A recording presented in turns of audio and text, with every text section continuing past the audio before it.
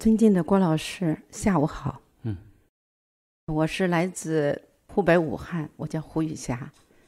我是第一次来参加学习。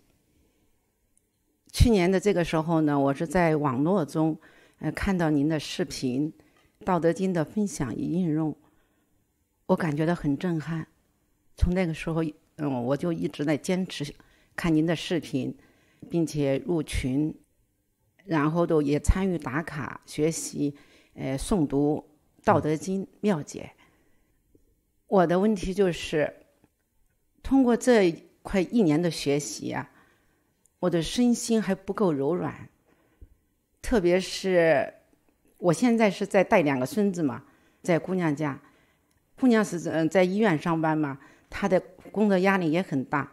那我在家带两个孩子孙子呢，压力也很大，所以之间总会发生很多冲突。面对这些冲突的时候，我都感觉到身心僵硬啊，都感觉到。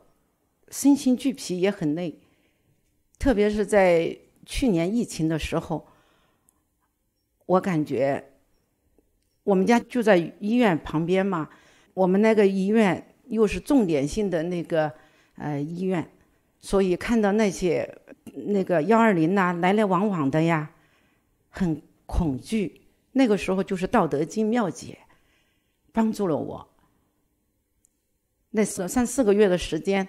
我不断地看呐、读呀、听呀，我觉得这段时间我是走过来了。现在呢，跟孩子相处，我感觉到有很多问题，嗯，冲突，身心不够柔软。我也尝试的《道德经》那个“上善若水，水善利万物而不争，处众人之所恶”。我也想学处下不争，柔软。面对问题的时候呢，我尽量做到不争。可是这些东西在我的心里放不下，放不下，我还是有挣扎。所以我想请教老师，怎样能够真正的身心柔软，和家人相处？身心不柔软，那是从小到大。不断的要争强斗胜的习性积累下来，所以也不是一朝一夕就能够马上说改就改，除非你遇到很大的挫折、很大的冲击，让你撕心裂肺的那些冲击痛苦，你才有可能说很快改变过来。如果那个苦的剂量不够的话，那是很不容易改的，因为人那个自我，他就是要抓东抓西，要逞强，要主宰。问题是，他会积累很多痛苦。那积累很多痛苦之下，如果那些剂量不够，反正还是一样，继续用自我、用主宰、用强势在运作。所以，你现在有因缘学到《道德经》，现在知道说柔软的重要，但是还是做不到，没关系。这个就是要让自己不断的浸泡，要浸泡在那个《道德经》的这个氛围里面，它会让你那个这个浸泡，它里面就含有水嘛，所以它会让你。僵化、僵硬的身心，逐渐的、逐渐的泡柔软。再人要有常怀感恩的心呢。怎样能够由衷的升起这种感恩心？我怎么是感恩不出来？感觉到有。因为一般人总是看到就是，都是看到自己很行很厉害，看到自己的都是。自己很能，自己能干什么？嗯，自己能够做什么，都看不到。很多的因缘在帮助我们。当然，这方面也是本来正常来讲的话，这是要从小就要让小孩子拥有感恩的心。这是教育要让小孩子从小就要有感恩的心。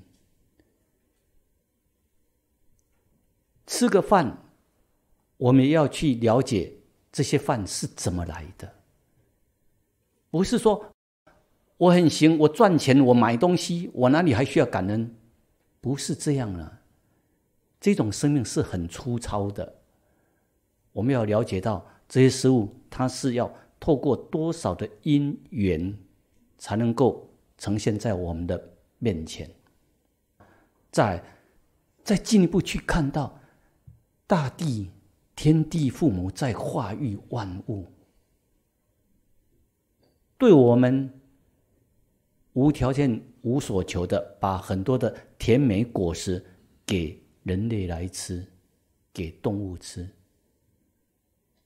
人真的要静下来，去看到我生命能够存活，要有多少善因善缘的支撑，我才能够活下来，我才能够存活。所以，真的，大家要好好去培养这个感恩的心呢。当你真正有感恩的心，人就不会这么的僵化僵硬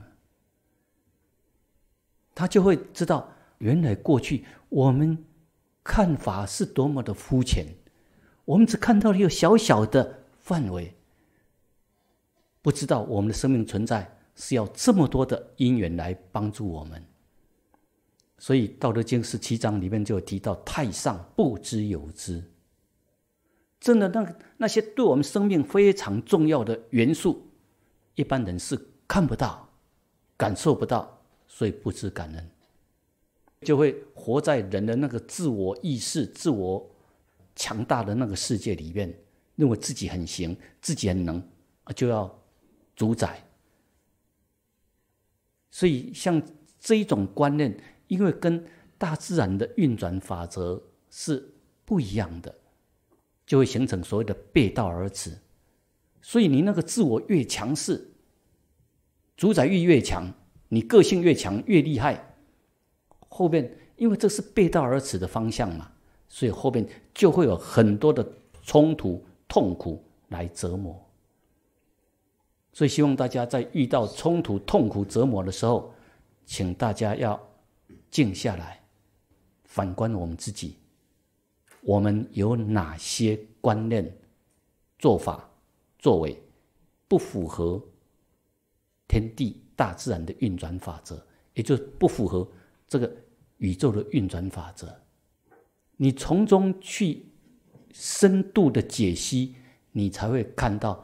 哇，原来我们积累了很多错误的观念，就是那些错误的观念，用那些错误的运作方程式，自己把自己的人生经营的很痛苦，不断的在恶性循环。这个就是没有开启智慧的话，你没有学到高等文化，没有学到生命实相、宇宙的运转法则的话。我们很多的作为都是用自我在自以为是的冲冲冲，后边痛苦就会提醒你哪些是错误的，你从中去反观，从中深入去检讨原因，你就能够检讨到哦，原来我们用的观念之间是错误的。希望大家从痛苦、失败、挫折的情况里面，或是我们的作为带给家人痛苦的情况，从里面去反观。这样的话，你的智慧就会逐渐成长，我们周遭的人还有自己呢，也就会逐渐的痛苦冲突就会逐渐减少，你就会越来越幸福。人要有懂得感恩，你真正懂得感恩，你的个性就会越来越柔软。老师，感恩我就不是那种由衷的，我也在练习感恩。比如说喝水、吃饭，那前一段时间我一直在练习感恩。我每天早上喝水的时候，我就感恩，感恩一段时间，我有时候给忘了，忘记感恩了。我都喝完了水，我都想起来，哦，今天没感恩，这怎么？忘了后边再补吗？我是这样的，吃饭有时候也是的。我是说，我感恩我吃完了饭，我想起来，我今天没感恩，说明这个感恩还没有注入到我的心里。当然了，我想是，呃，这种感恩要是从我心灵深处发出来的这种感恩，才是最真实的。我想要找这样的感恩，对，可是我现在做不到。做不到，先假的也没关系呀。谢谢老师。哎，对所以我一直在这种拉扯。我说我这种感恩是假的，没有发自于内心，没关系的，先假几次啦。假久了之后，自己就不会不好意思了。